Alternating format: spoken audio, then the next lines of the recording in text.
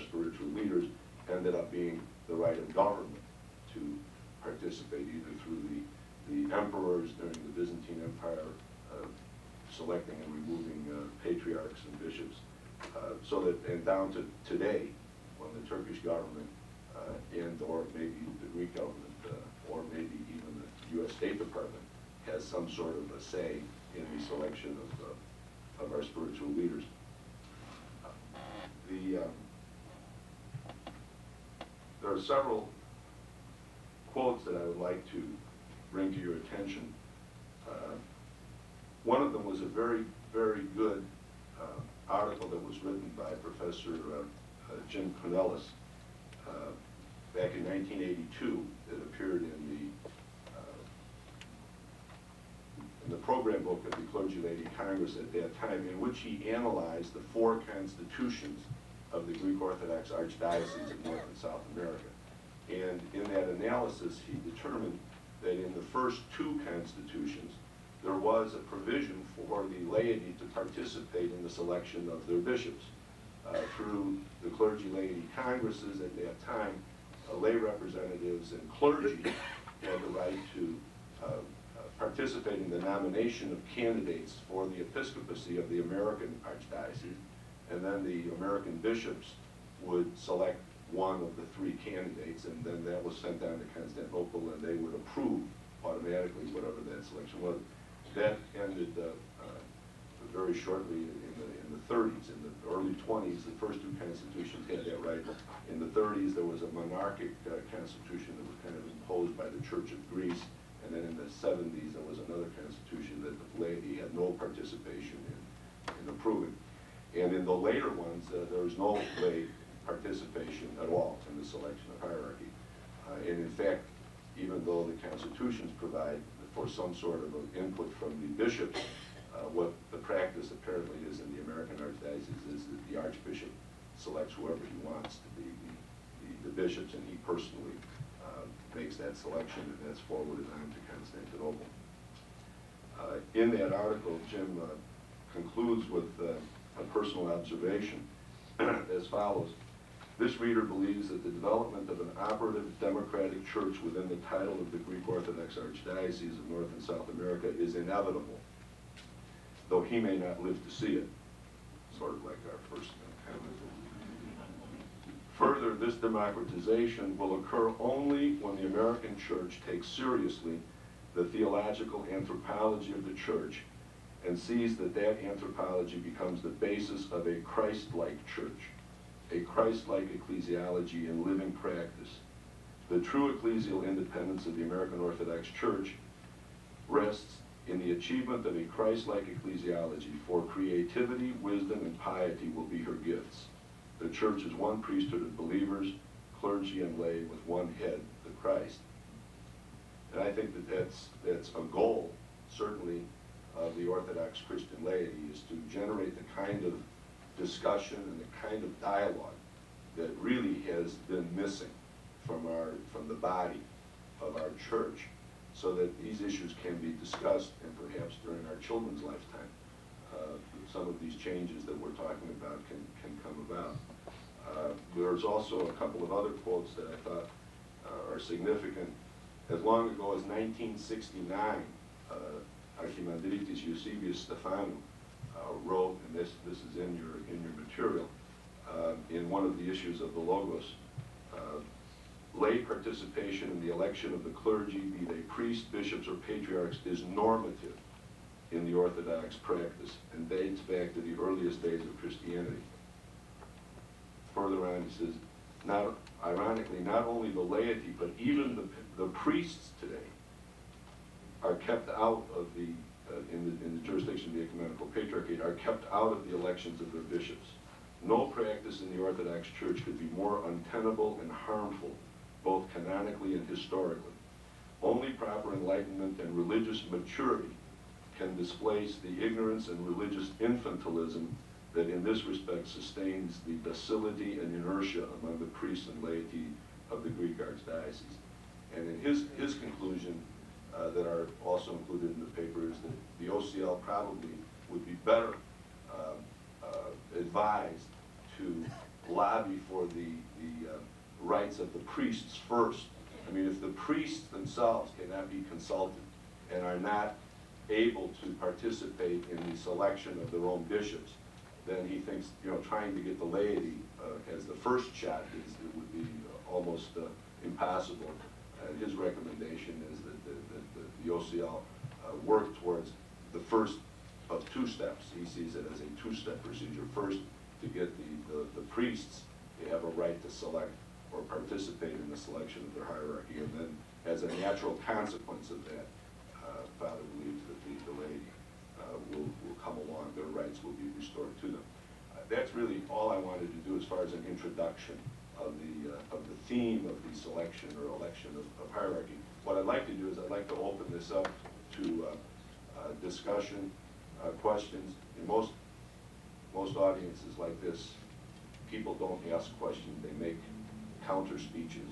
And, and that's, that, that, per, that, that's, that's really what we're looking for. We really are not, uh, this is not the typical question and answer period where, where you ask questions and, and I will try and answer.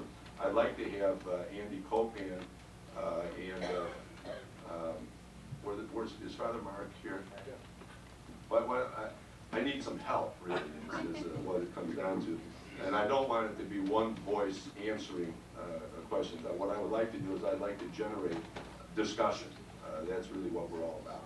As we're walking up, one thing I was remiss, I did not uh, introduce Fathers uh, Presbytera uh, Elaine, uh, who's, uh, as I mentioned to some of you yesterday, I, I'm an old-time Detroiter, and uh, Elaine and I turn out to be from the same community of St. Constantine's and Helen in Detroit, so if you would just stand, she's a a partner.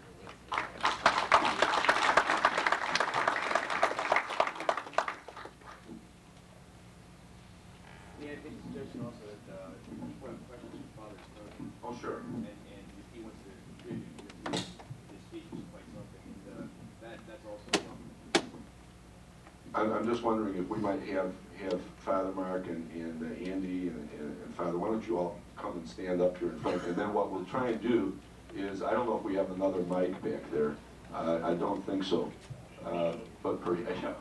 well, I'm just thinking in terms of uh, if, if we have uh, some discussion to, to be able to hear what, what's being said. But speak, speak up and we'll try to uh, respond to whatever dialogue we we generate. You want to be seated? I think that might be more, more informal. I just wanted to say something about, you know, the structure of the Greek Orthodox Archdiocese. You know that the uh, Archbishop serves also as an exarch for the Ecumenical Patriarch. And I'm a member of a small diocese, the Ukrainian Orthodox Church in America, uh, which is a canonical option for the Ukrainian Church, and we serve under the Ecumenical Patriarch. So Archbishop Iakovos serves as our exarch, you know, a, kind of a channel the Ecumenical Patriarch. And we believe very strongly in the ecumenical patriarch as a visible sign of unity in this church in America. And what I wanted to point out simply is that in these smaller jurisdictions, which are kind of uh, uh, uh, serve under the umbrella of the Greek Archdiocese, there's a very democratic process often of choosing bishops, you know. The laity engages very actively in the choice of a candidate, and a candidate is presented to the ecumenical patriarch, and uh, Archbishop Iakovos accepts that presentation so that if you yourselves are deprived of a voice in this process, there are dioceses who participate with you, who have a very active role in choosing their bishops. So there, there obviously is nothing inconsistent here, because, you know, it's tolerated, right, within your structure. Uh, Let me add a few more remarks there. Uh, We've been engaged, uh, many of us here, been engaged for years in, uh, in uh, doing research in this matter. As Father Goldberg mentioned, uh, he's very definitely right. The patriarch has an exarch in this country, and that is, of course, the Archbishop Iakovos. And the word exarch means he's a representative of the patriarch in this country. And sometimes in countries where there, uh, where the Orthodox people have been occupied areas, like in Turkish occupation of the Balkan nation, the bishop is an exarch. A recent example is Macarius, in the latest Macarius in Cyprus, who, means that he's an exarch. He represents also politically uh, the people in the halls of, of, of power. Uh, an example, a very big example of that was the uh, patriarch during the Turkish occupation was not only an ethnarch, he was also a very important political leader. He had political authority over all the Orthodox Christians under the um, Ottoman Empire, and he was also an official of the Sublime Porte of the government of the Ottoman Empire until 19 until the First World War, when um, uh, Turkey, modern Turkey, was erected under Kemal Ataturk, and an attempt was made to secularize the Ottoman Empire. Uh, so as a result of that, they decided to separate church and state like they in this country. Caliph, who was the head of the Ottoman uh, Muslim faith, was done away with in, uh, in uh, modern Turkey. And of course, the Patriarchate was to be done away with. But there was objection from the power of Western powers, and that resulted finally in the Treaty of Lausanne, uh, which ended the hostilities during World War I between Turkey and the Allies. And the Treaty of Lausanne specified that the, the new Turkish state would guarantee the inviolability of religious minorities, Christians especially, in uh, the modern state of Turkey to uh, maintain their religious institutions. Now, it does not mention the Patriarchate in itself. Uh, it's mentioned in the minutes, in the verbatim notes of the, uh, of the Treaty of Lausanne. Uh, but that means that uh, under political uh, international law, these notes become part of the treaty. So the Patriarchate has indeed an international status. Uh, but this interna international status has been, of course, abrogated by the fact that the Patriarchate is subject to Turkish law over and beyond uh, the fact that the Turkish government recognizes the right of it to exist. The Turkish law being that, as George mentioned, he must, the, the patriarch must be a subject or a citizen of the, um, of the of Turkey and a resident and other harassments that have taken place, in, especially in the last 30, 40 years of Cyprus trouble, uh, harassment intended to induce the patriarchate to leave of its own accord. And you know the story, I'm I'm going to repeat it, but uh, out of something like 100,000 Orthodox Christians in, um, uh, in uh, Greek Orthodox Christians in Istanbul, indeed out of 12 million Orthodox Christians in Turkey during the, uh, World, uh, World War I, there's only scant 100,000 left in Turkey today, and less than maybe 5,000 Greek Orthodox Christians in Istanbul. And of course, the Patriarchate is nothing but a shell. But and with the of Lausanne, the, the Patriarchate was secularized. Its political and temporal power was shorn away, and that's when the change was made, uh, that uh, the election of the Patriarch would no longer be uh, involve uh, lay people, but would be only uh, brought about by, by the Holy Synod, which is the governing uh, body of the, of the great Church of Christ, the Church of Constantinople is known. Now, that does not mean, though, that we cannot that we cannot um, uh, once again reinstitute lay in, uh, involvement. The recent the, the patriarch of uh, Moscow, Alexis II, was elected by 66 bishops, 66 priests, and 66 laymen from the 66 dioceses that make up the Church of Russia. Lay involvement. The Archbishop of Cyprus is elected, nominated by the laity. Uh, and as Father Yagola mentioned, many of our only uh, our jurisdictions here, like the Ukrainian jurisdiction, is is uh, is under the Ecumenical Patriarchate, as the Albanian group and other groups, uh, which are governed by their own bishops, but recognize the authority of Archbishop Yakov as the exarch of the Ecumenical Patriarchate. But they're left to govern themselves, and they have, as was uh, mentioned, uh, this type of, of lay involvement. The important thing is, and I, I will be, I won't be too long, but others have to speak. The important thing is that, as Father so aptly put it in his remarks this morning, which I think were, was, uh, was um, quite uh, uh, uh, impressive, is that we have to stand up now and speak up. this is what OCL is all about. We're not out to reform the church in terms of We have no quarrel with the uh, theology of the church. We have no quarrel with the, with the role of the bishop. The bishop is the church. Where the bishop is, there is the church, according to uh, Orthodox theology. But also, we as the Laos, the people of the church, play a very important role. And we need to be heard, and we need to be listened to, and we need to be involved in the electoral process of our hierarchy, not only from the patriarchal level all the way down to the local bishop level, and our priests. And, and we have to empower not only the laity, but as pointed out by George in, in the remarks by Professor Cornell, Also, our clergy, our clergy are powerless, just like we are. And our church is not, we hear that it- our church is not democratic, it's hierarchical. Yes, it's hierarchical, but there's a democratic element in it. Our church in this country is not. Even hierarchical, it's monarchical. we have a despot, as Father Ugolnik pointed out. Uh, with all due respect to his eminence the Archbishop, was a very charismatic person. Most of us know him, love him, and respect him. But the time has come for the, lay people, to together with the clergy, the OCL involved clergy, to speak up and to be heard. And this is what we're all about. This is why Steve Speakers has worked so hard with commissions, seven commissions. We have done in one year what the Archdiocese has not done in 75 years. We have, uh, we have addressed the problems of the, of the church, dealing with the selection of hierarchy, with the unity of the, of the church in this country, with the role of women, uh, with the faith and spirituality, the language issue. We have sat down, we have commissions working, and we have addressed these problems, and they're all here now for your consideration, for revision, for your input, so that we can finalize it and present it to our hierarchs and our respective churches um, uh, in the near future. I think this is a- an enormous accomplishment. If we have done nothing else, we succeeded here.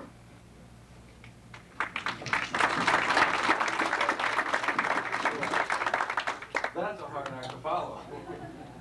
Doc, I would just make a couple of remarks to, uh, to kind of set some tone for the, uh, discussion that follows. I don't want this. I'm not used to that. You can hear me in the back, can't you? Yeah. Yes. Um, it would, I would only caution, as we, as we go forward and discuss these issues of election of hierarchs and, and role of laity, I think it's appropriate to put it in the context of our faith.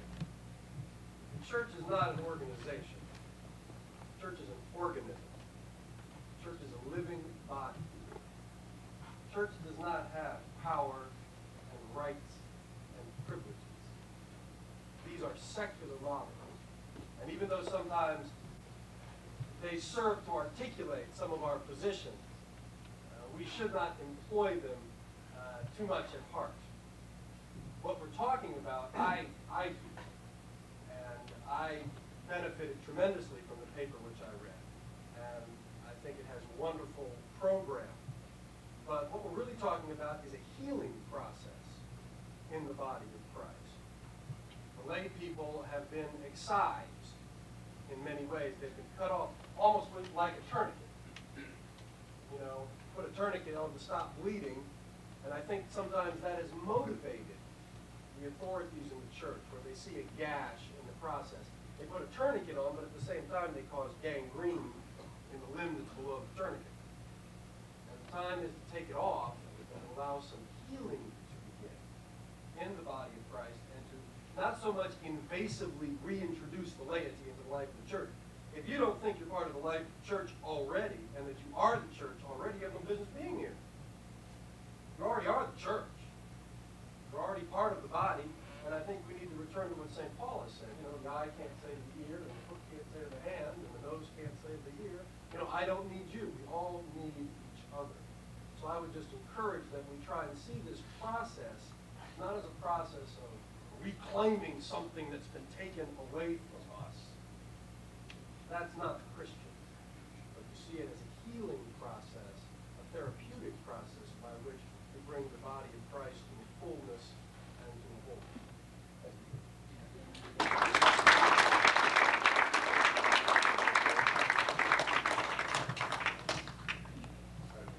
We invite uh, dialogue, and have it, that's what this is, this is supposed to be all about.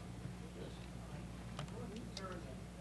Get up and also identify yourself. home notice from, uh, William Bishop. Just keep standing. Um,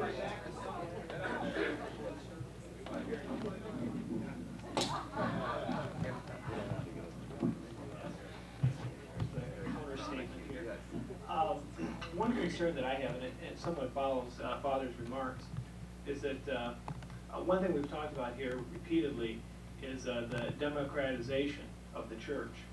And I think it's important to keep in mind that, that that concept is really a 17th or 18th century concept uh, of, of democracy and developed by principally the, uh, uh, the English.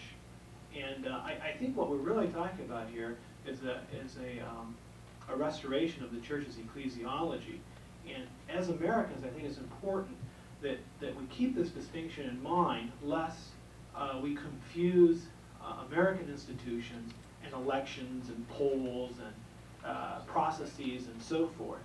And uh, at least we, we, we discussed a good deal about models, and I think there's a very um, great tendency for us to, to essentially erase whatever line uh, distinguishes uh, Western uh, democracies from uh, the church's historical processes. And, and I think those two are distinct, and, and in terminology, we use the same terms, and, and that's, and that, that is what concerns me, is that essentially it's gonna become, uh, you know, there's ballots and, and campaigning and, and almost the, the, the whole, uh, electoral process that, that we see here in the United States. And, um, I don't think that it has been sufficiently addressed, and I- I'd like to turn the mic back over at this time. Any other um, comments? Go ahead, Peter. Just want to pick up on one thing that Father said about, um, phantom cultures.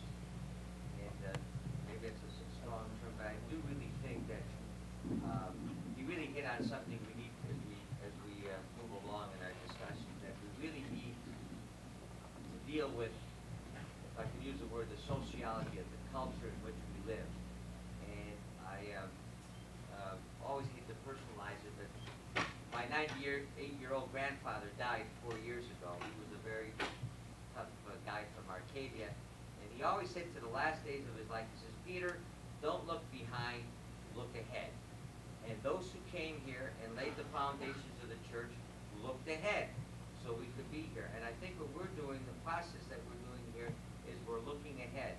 We're looking ahead to what kind of a church, what kind of values we will leave here. And I thought that Father really hit on that, that we have to deal with what we are here. We're not going to restore any, uh, any previous, uh, sociological or cultural, uh, uh, ideal or, or existence that we had earlier. And I think it's very important because once we get that out of our mind, we, we, we, we revere it and we reverence it, uh, but our real our real obligation, our obligation is to meet the needs of, uh, of our children, of ourselves as we live today. And it doesn't, it doesn't mean that you forget your ethnic background, and those of you who know me or some of us, we know how fanatic we can be about those things sometimes. But it doesn't mean that you have to forget it, but you have to deal, deal with it. And I think, Father, I thank you for that, for that, uh, particular, uh, observation. I think it's very important that we keep that in mind. Steve? Uh, I wanted to address, uh, I I apologize, I didn't, uh, remember the gentleman's name, the guy from Michigan who, uh, who spoke. Uh, and I wanna differ with him a little bit. You know, one of the unique things about, about our church here is that this is a church in America and we are Americans. We have our own very distinctive culture. It includes a political culture. And that culture includes, at its best, uh, a devotion to, uh, to human rights and tolerance and democracy. And uh, maybe this is our this special contribution that we as Americans make to, to the worldwide life of Orthodoxy, just as uh, as Russia and Greece and other countries have made their own distinctive uh, contributions. And American democracy, I grant, does to some extent the 17th and 18th century ideas, but many of the greatest leaders of our democracy have been really very profoundly molded by their religious backgrounds. You look at guys like Abraham Lincoln, who's a very religious man. His speeches sometimes uh, read like, like sermons, and uh, uh, Martin Luther King and, and others, they've all been affected by uh, by a religious sense of the value of individual human beings. I think that the worst thing that can happen to our church. I mean, I, I think one of the best things that can happen to our church might very well be for some American political notions of equality, democracy, human rights, and the like, make their way into the, the religious culture of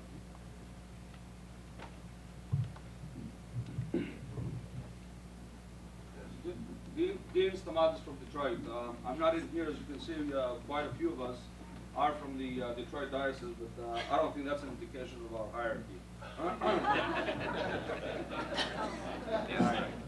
Uh, two things, two notes. Uh, one on uh, comments that were made in reference to um, reconciliation or healing process, if you will, and the other on the worthiness of recognition in the selection of the hierarchy. In order for something to get healed, you have to recognize first that there is a problem. And it seems to me that the hierarchy, as of right now, as a matter of fact, this very moment, has not recognized that there is a problem. So I think, in, from that point of view, we're perhaps uh, knocking on a, on, a, on a door that uh, is perhaps in our imagination. The second point, though, I think is more fundamental, and that is how do we select the bishops? Through the church, the Orthodox Church, if you look all the way through the apostolic canons, and uh, even if you look at the apostolic fathers' writings, you'll notice that there is two ways of the clergy being selected. The first one is what is called theokritos in Greek, which means God was actually uh, uh, had some form of uh, influence within the body, and uh, he was actually asked by God to be uh, in the ministry. And the second one is by the people's exclamation. Uh, the the point that I want to make though is the people's format. One, I will mention only one example, and then if you want, you can find uh, an abundance of them. Uh, the most famous one is John Chrysostom. Uh, until the very last moment, when he, he was actually enthroned to be bishop, he refused to be a bishop. And he only became because everybody in his diocese wanted him to be one. Anyway, we are in 1991. I don't want to dwell on uh, what happened in 360 something. In 1991, though, we have a very, very, very, very super important role to play in the selection of the clergy. The only problem is we don't exercise it. We do not exercise it. So for us to look at the canons, for us to look at the tradition, for us to even sit in here and take precious time where other things are concerned, uh, to me, forgive me, uh, is a little frivolous because we have to understand what the real problem is. And the real problem is, as the saying goes, we found the enemy, and the enemy is us. We are the enemy. We have the rules, the appropriate rules, right now to have the proper authority in selecting the bishops. And that's only one word. And the word is on every enthronement of a priest, of a deacon, I'm sorry, of a deacon, of a priest, of a bishop, of a metropolitan, of even a patriarch. When all over is done, the bishop that he is enthroned in that priest, he takes him by the hand and he says, Axios. And what do you folks say? Why? Why? Why, folks? You don't have to spend another minute in dwelling on that problem of selecting the bishops and, and the priests, in my way of thinking. My way of thinking is that we have to educate the people that when that bishop takes that person, that candidate, and says, Axios, you say, Anaxios.